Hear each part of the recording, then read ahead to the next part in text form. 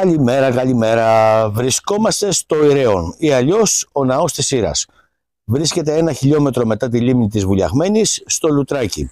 Και φυσικά, επειδή βρισκόμαστε μέσα σε έναν αρχαίο ναό, σήμερα, όπως καταλαβαίνετε, θα μιλήσουμε για την τριγωνομετρία, όπως είναι γνωστή, όπως είναι γνωστό μάλλον, των αρχαίων ναών. Φυσικά δεν είναι τριγωνομετρία, είναι κάτι πολύ μεγαλύτερο και αυτό θα εξηγήσουμε σήμερα στα βιντεάκι, στο βιντεάκι μας. Λοιπόν, Α κάτσω και εγώ εδώ πέρα να τα πούμε σιγά σιγά. Λοιπόν, και πριν ξεκινήσουμε να πούμε το τι ακριβώς συμβαίνει με αυτή τη λεγόμενη τριγωνομετρία, το οποίο, η οποία δεν είναι τριγωνομετρία, επαναλαμβάνω, είναι κάτι πολύ πολύ μεγαλύτερο και πολύ πιο όμορφο.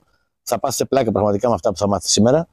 Ε, να σας πω ότι εγώ δεν είμαι ένας άνθρωπος με τις μεγάλες περγαμηνές. Ένας απλός άνθρωπος είμαι, ερευνητής. Μου κέντρισε και εμένα το ενδιαφέρον μαθαίνοντας όλα αυτά που έχω μάθει για τον νόμο της αρμονίας, που τα λέω και σε εσάς. Και σκέφτηκα λοιπόν, άραγε οι αρχαίοι Έλληνες, αφού είχαν τόση μεγάλη συμπάθεια και καλά κάνανε με τον νόμο της αρμονίας και τον εφαρμόζανε παντού. Μήπως ο νόμος αρμονίας εφαρμόζεται και στους αρχαίους ναούς; Και έτσι ξεκίνησε λοιπόν μία έρευνα. Μία έρευνα η οποία κράτησε τουλάχιστον 4 με 5 χρόνια αν θυμάμαι καλά και, μου, και χάλασε και αρκετά χρήματα έτσι γιατί δεν είναι κάτι απλό. Δηλαδή να φύγει κάποιος από την Αθήνα να πάει στους Δελφούς θέλει για πλάκα ένα εκατοστάρικο βενζίνα, συν φαγητά έτσι και ε, να ανέβει στην Ακρόπολη, Πλέρο, πήγαινε Σούνιο, πήγαινε Κόρινθο, πήγαινε γενικά σε όλους τους ναούς. Και OK, okay, πήγαμε στους Δελφούς. Αφού βγάλουμε τα στίγματα και μετά, μετά πρέπει να ξαναπάμε στους Δελφούς. Γιατί; γιατί υπάρχουν πολλά ενδιάμεσα, ε, πολλοί ενδιάμεσοι ναοί που πρέπει να βρεθούν και αυτοί, οι οποίοι άλλοι βρίσκονται σε βουνά, άλλοι σε λαγκάδια, άλλοι είναι σκεπασμένοι από κτίρια. Γενικώς είναι κάτι ε, που στοιχίζει και, χρήμα, και χρόνο και χρήμα. Όμως έμεινα τρομερά ικανοποιημένος από το αποτέλεσμα. Εγώ αυτά που θα σας πω σήμερα δεν τα έχω ξανακούσει από κάποιον άλλον. Είναι μια προσωπική μου έρευνα και πραγματικά θα πάθετε πλάκα, παιδιά. Λοιπόν, η ιστορία με τους ναούς ξεκινάει με τον Δία που αφήνει δύο αετούς, έναν προς Ανατολάς και έναν προς Δεσμάς. Και εκεί που συναντιόνται, αφού κάνουν το γύρο της γης οι αετοί, εκεί που συναντιόνται είναι οι Δελφοί. Και εκεί θεωρείται ότι είναι το κέντρο της γης. Και πράγματι είναι το κέντρο της γης οι Δελφοί. Υπάρχουν λοιπόν τριών ειδών ναοί. Ε, ε, το πρώτο είδος ναών, όπως είναι ο ναός των Δελφών, είναι ένας διακρατικός ναός. Το επόμενο στίγμα που υπάρχει μπορεί να είναι 2 και 3 χιλιόμετρα μακριά. Ταυτόχρονα όμως ε, είναι και για τον νομό. Για τον νομό Φωκίδος, Βιωτίας κλπ.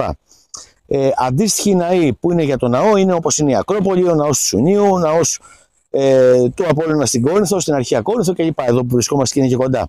Υπάρχουν λοιπόν τριών ειδών ναοί. Οι, ε, οι μεγάλοι ναοί όπως είναι στους Δελφούς και οι αμέσως μικρότεροι όπως είναι η Ακρόπολη όπως προείπα και τα λοιπά και ο ναός της Κορίνθου του Απόλλωνα και υπάρχουν και η τρίτη σειρά ναών οι οποίοι βρίσκονται γύρω γύρω από το ναό του Απόλλωνα εντός του νομού. Ε, τέτοιοι νομοί είναι ο ναός του Ηρακλέου στο, στην Εμέα που βρίσκεται ακριβώς απέναντί μου. Μετά είναι το Ηρέον, ο ναός της Σύρας που βρίσκεται πίσω μου. Μετά είναι το εκκλησάκι της Αγίας Παρασκευής, προφανώς ήταν ναός και έγινε εκκλησάκι ως συνήθως εδώ στο Λουτράκι που βρισκόμαστε. Έτσι. Μετά είναι ο ναός του Αγίου Ιωάννου στο Λουτράκι μέσα που φυσικά έγινε εκκλησία. Μετά βρίσκεται σε ένα σημείο πριν τον Ισμό όπου έχει ανακαλυφθεί μια αρχαία ρωμαϊκή έπαυλη. Δίπλα από την έπαυλη υπάρχει και ο ναός ο οποίος ακόμα δεν έχει ανακαλυφθεί. Εγώ δεν έχω ανακατευθεί να τους πω τέλο πάντων κάτι. Και μετά υπάρχει ο επόμενος ναός που είναι στις Κεχριές. Δηλαδή υπάρχουν κάποιοι ναοί οι οποίοι βρίσκονται περιφερειακά γύρω από ένα ναό όπως είναι ο ναός του Απόλλωνα στην Κόρυθο. Επίσης βρίσκονται οι ίδιοι ναοί γύρω από την Ακρόπολη, οι οποίοι στα περισσότερα σημεία που πήγαμε έχουν γίνει πολυκατοικίες. Ελάχιστοι ναοί έχουν μείνει. Λοιπόν, τι είναι αυτοί οι ναοί τώρα και τι σχήμα σχηματίζουν. Ε, μετά από πολλά στίγματα που πήραμε, γιατί για να ξεκινήσουμε αυτή την έρευνα χρειαζόταν στην αρχή πάρα, πάρα πολλά στίγματα. Και αρχίσαμε να μπαίνουμε σε μία σειρά. Όταν λοιπόν αρχίσαμε να μπαίνουμε σε μία σειρά και παίρνοντας παίρνοντας συνέχεια στίγματα, έχουμε γυρίσει τη μισή Ελλάδα έτσι και παραπάνω. Ε, καταλάβαμε λοιπόν το, αυτό που βγάλαμε τελικά το σχέδιο των ναών για να σας βάλω κατευθείαν στο, στο θέμα είναι το λουλούδι της ζωής. Έτσι θα πατήσετε μια παύση τώρα στο βιντεάκι μου, θα μπείτε στο Google, θα πατήσετε το λουλούδι της ζωής, εικόνες, θα δείτε τι είναι το λουλούδι της ζωής για να μπορέσετε να καταλαβαίνετε τι λέμε από εδώ και πέρα και να μπορέσουμε να συνοηθούμε. Για να αρχίσουμε να καταλαβαίνουμε λοιπόν για ποιο λόγο οι αρχαίοι ναοί ε, βρισκόντουσαν στα συγκεκριμένα σημεία, θα δούμε πρώτα τι είναι το λουλούδι της ζωής το, θα πατήσετε επίσης μια παύση και θα μπείτε στο Google και θα πατήσετε το ενεργειακό πλέγμα της γης. Θα δείτε τι είναι το ενεργειακό πλέγμα της γης. Ε, είναι, μοιάζει με το λουλούδι της ζωής, αφού είναι λογικό αυτό το πράγμα. Δηλαδή, το λουλούδι της ζωής στην πραγματικότητα είναι το ενεργειακό πλέγμα της γης.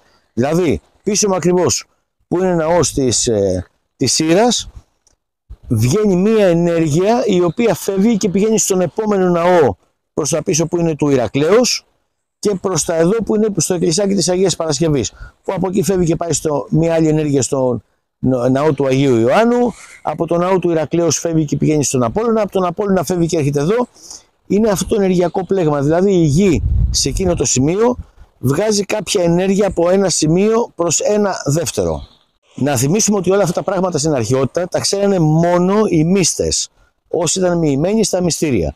Και δεν γινόταν ποτέ μία πόλη, ένα χωριό ή οτιδήποτε άλλο, εάν το ιερατείο πρώτα δεν τους έλεγε σε ποιο ακριβώς σημείο θα γίνει. Έτσι το ιερατείο ε, που γνώριζε, που είχε τα μέσα να το κάνει και μην νομίζετε ότι δεν είχαν τοπογραφικά, ε, δεν ξέραν την τοπογραφία τότε, φυσικά και είχαν τοπογραφικά μηχανήματα, το μηχανήματα εντός εισαγωγικών βέβαια, Λοιπόν, και ξέρανε ακριβώς να βρούνε πού είναι ο επόμενος ναός. Έτσι λοιπόν το ιερατείο έλεγε ότι θα γίνει εκεί πέρα η επόμενη πόλη. Εκεί σε αυτό το σημείο ακριβώς θα φτιαχτεί ο τάδε ναός και γύρω από αυτό το ναό, ο οποίος θα είναι και προστάτης της πόλης, θα χτιστεί μία πόλη. Έτσι γινόντουσαν οι πόλεις στην αρχαιότητα. Γι' αυτό παρατηρήσετε και σήμερα, εάν δείτε οι αποστάσεις των ελληνικών πόλεων μεταξύ τους είναι περίπου στα 60 χιλιόμετρα. 60 χιλιόμετρα πάντα σε ευθεία, έτσι. Και μιας και αναφερθήκαμε στο ιερατείο, θα κάνω μια μικρή παρένθεση να πω το εξής. Το ιερατείο τότε γνώριζε πράγματα τα οποία δεν τα γνώριζαν οι απλοί άνθρωποι. Για παράδειγμα, ε, θυμάστε το υγροπύρ. Το ιερατείο το είχε κάποια στιγμή. Έγινε αυτό που έγινε τότε στην ιστορία με το υγροπύρ στην Κωνσταντινούπολη, από εκεί πέρα πάμε το εξαφανίσανε. Θέλω να πω το εξής: Ότι αν σήμερα υπήρχε αυτό το ιερατείο, το οποίο δεν υπάρχει δυστυχώς, ε, το έχουν ή μάλλον έχει αντικατασταθεί από τους πονηρούς παγκοσμιοποιητές, αυτοί τα γνωρίζουν αυτά τα πράγματα, το ιερατείο δεν υπάρχει σήμερα. Εάν υπήρχε το ιερατείο και ο άνθρωπος κατασκεύασε την ατομική βόμβα, το ιερατείο θα την έκρυβε. Δεν θα την έδινε ποτέ στους ανθρώπους. Δηλαδή το ιερατείο ήξερε τι δίνει στους ανθρώπους. Δεν έδινε επικίνδυνα πράγματα. Γνώριζε πολύ περισσότερα πράγματα από τους απλούς ανθρώπους, απλά δεν τα έδινε για ευνόητου λόγους. Και για να μην κάθομαι και εγώ όρθιος, σας καθίσω αυτό το βραχάκι εδώ πέρα να πούμε τη συνέχεια της ιστορίας μας. Λοιπόν, να δούμε τώρα τι άλλο είναι αυτό το λουλούδι της ζωής. Λοιπόν, το λουλούδι της ζωής που ταυτόχρονα είναι το ενεργειακό πλέγμα της γης, είναι ταυτόχρονα και ο αντικατοπτρισμός του ουράνιου θόλου. Δηλαδή, εάν το ανθρώπινο μάτι θα μπορούσε να δει τα αστέρια που δεν μπορεί να το δει το ανθρώπινο μάτι, αλλά ούτε και τα τηλεσκόπια, γιατί τα τηλεσκόπια βλέπουν πολύ μικρό, ένα κεντράρουν κάπου θα έβλεπαν τα αστέρια ότι η διάταξη των αστεριών, αν το δούμε αστρονομικά δηλαδή, η διάταξη των αστεριών είναι ακριβώς όπως το λουλούδι της ζωής. Δηλαδή, ε, είναι αντικατοπτρισμός του ουράνιου θόλου, το ενεργειακό πλέγμα της γης που ταυτόχρονα είναι και το λουλούδι της ζωής που ταυτόχρονα εκεί μέσα βρίσκονται όλοι οι ναοί της Ελλάδος και όχι μόνο. Έχω κάνει έρευνα και προς το εξωτερικό, αλλά όχι πολύ, γιατί καταλαβαίνω ότι το κόστος είναι τεράστιο. Ε, υπάρχουν ναοί, δηλαδή συνέχεια είναι στην ε, Ιταλία, συνεχίζει προς τη Γαλλία και πηγαίνοντας στο Google Earth και κατεβαίνοντας εκεί που είχαμε βρει τα στίγματα, βλέπαμε ότι πράγματι υπήρχε κάποιος ναός και γύρω-γύρω πόλη. Βέβαια δεν έχουμε συνεχίσει αυτή την έρευνα, καταλαβαίνω ότι στοιχίζει πολλά χρήματα. Έτσι, δεν γνωρίζω τώρα εάν αυτό το πράγμα συνεχίζει και προς την Αμερική, το πιθανότερο είναι ναι. Αυτό που έπαθα εγώ πλάκα παιδιά, ξέρετε ποιο είναι, ότι όταν βγάζαμε κάποιο στίγμα και πηγαίναμε προς το Αιγαίο, για, σε κάποια νησιά που έπρεπε να βγει το στίγμα, εκεί πέρα θα υπάρχει ναός και πράγματι πάντα ε, όπου βλέ, ε, βγάζαμε μέσα από τα μαθηματικά ότι εκεί πέρα θα πρέπει να υπάρχει ναός, πράγματι υπήρχε ναός. Αλλά το θέμα είναι το εξής, εκεί που θα πλάκα εγώ, ας πούμε, ε, ότι τους ναούς φτιάξαν οι άνθρωποι. Το θέμα είναι ότι όπου, πέφτανε, όπου έπεφτε στίγμα με ναό, υπήρχε πάντα νησί. Και είπα, Θεέ μου, το μεγαλείο σου, δηλαδή πώς είναι δυνατόν σε ένα ολόκληρο Αιγαίο πέλαγο, το οποίο είναι κατά 95% νερό, αυτό το μικρό κομμάτι που μένει γης, όπου έπρεπε να πέσει στίγμα, όπου έπρεπε να γίνει ναός, υπήρχε γη. Τη γη εκεί πέρα το νησί δεν το έβαλε ο άνθρωπος, το έβαλε ο Θεός. Εκεί είπα Θεέ μου το μεγαλείο σου. Δηλαδή, όταν αντιλήφθηκα αυτό το πράγμα, ε, λέω πώς γίνεται αυτό το πράγμα, πώς γίνεται; Πώς είναι δυνατόν όπου υπάρχει ναός να υπάρχει και στεριά; Μέσα σε ένα σημείο που το, το 95% τουλάχιστον είναι θάλασσα. Απίστευτο. Θεέ μου το μεγαλείο σου. Σαφώς βρήκαμε στίγματα και νότια προς τη Λιβύη, προς την Αίγυπτο και εξ Ανατολών, υπήρχαν, OK, okay, εντάξει. Προς δυσμάς τώρα που είναι ο Ατλαντικός ωκεανός, δεν ξέρω αν τα στίγματα πέφτουν σε κάποια νησάκια που μπορεί να υπάρχουν μέσα στον Ατλαντικό, δεν το γνωρίζω αυτό το πράγμα. Είναι μια έρευνα που για να την κάνει κάποιος χρειάζονται πάρα πολλά χρήματα, τα οποία εγώ δεν διαθέτω. Ε, το κάνω καθαρά από χόμπι. Τώρα, αν με βλέπει κάποιος ή θα με δει κάποιος στο μέλλον που έχει άπειρα χρήματα και θα του άρεσε να, κάνουμε, να συνεχίσουμε αυτή την έρευνα και προς την Αμερική, γιατί εγώ φαντάζομαι ότι και οι ναοί των Ίνκας, των Μάγια κλπ. και διάφοροι ναοί που είναι χαμένοι μέσα στο ζούγκλα του Αμαζονίου, ε, λογικά θα πρέπει να είναι προέκταση των Δελφών. Για να συμβαίνει αυτό το πράγμα και προς την Ευρώπη και νότια προς τη Λιβύη και προς Ανατολάς, άρα λογικά και προς Δυσμάς μετά την Ευρώπη, με κέντρο πάντα τους Δελφούς, τα στίγματα που θα βγαίνουν σίγουρα θα υπάρχουν οι αντίστοιχοι ναοί. Δεν μπορώ να το τεκμηριώσω αυτό γιατί δεν την έχω κάνει αυτή την έρευνα. Αν κάποιος που με βλέπει νομίζω ότι θέλει να συνεχίσουμε αυτή την έρευνα και έχει χρήμα να το κάνουμε, εγώ γουστάρω, μου αρέσει, περιπέτεια για μένα και όχι τίποτα άλλο. Θέλω να συνεχίσω και την έρευνα να δω, να δω που πραγματικά βγάζει. Λοιπόν, αυτά αρχικά και εν ολίγης για τους ναούς. Οι ναοί δεν είναι αυτή η τριγωνομετρία που βλέπετε. Μέσα στο λούδι της ζωής θα παρατηρήσετε και μόνοι ότι υπάρχει και τριγωνομετρία. Φυσικά υπάρχει και τριγωνομετρία, αλλά δεν είναι η τριγωνομετρία αυτό που πραγματικά είναι η ναή. Η ναή είναι το λούδι της ζωής.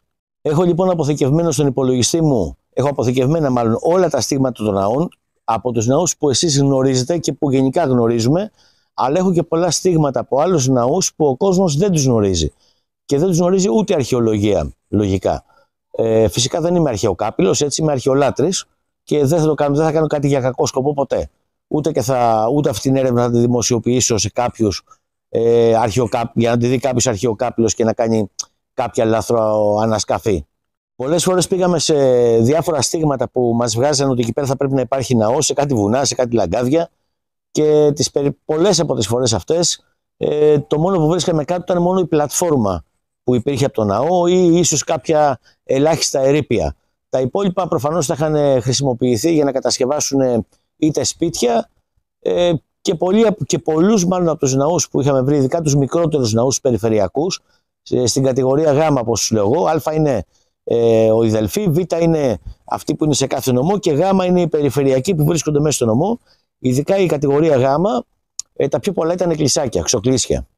Για να σας πω την αλήθεια, δεν θέλω να πω πολύ περισσότερα πράγματα, δεν θέλω να αποκαλύψω πράγματα που δεν πρέπει λόγω αρχαιοκαπηλείας ε, και θα ήθελα ίσως να το σταματήσω εδώ πέρα το βιντεάκι μου. Αυτό που με ενδιέφερε βασικά είναι να σας δώσω αυτή τη γνώση, τουλάχιστον να μην ε, βλέπετε όλη την τριγωνομετρία που υπάρχει στους ναούς. Δεν είναι μόνο τριγωνομετρία, είναι, είναι κάτι πολύ μεγαλύτερο, σας εξήγησα τι είναι. Και πραγματικά ρε παιδιά θαυμάζω τους αρχαίους Έλληνες πώς το ανακάλυψαν αυτό το πράγμα, πώς ξέρανε σε ποιο σημείο ξεκινάει το ενεργειακό πλέγμα της γης; Πώς έγιναν οι πρώτες μετρήσεις από το ιερατείο; Δεν μπορώ να το καταλάβω. Φυσικά να βρεις ε, 20, 30, 50 μετρήσεις, μετά η κάθε μία σε πάει στην άλλη είναι εύκολο. Τα, οι πρώτες 50-100 μετρήσεις είναι δύσκολες. Αλλά αυτές τις πρώτες 50-100 πώς θα καταφέρουν άραγε; Λοιπόν, όσοι θέλετε, σας έδωσα το έναυσμα για να ψαχτείτε λίγο περισσότερο. Μπείτε να δείτε, ξαναλέω, ότι είναι το ενεργειακό πλέγμα της γης, τι είναι το λούδι της ζωής, ο αντικατοπτρισμός του ουράνιου θόλου κτλ.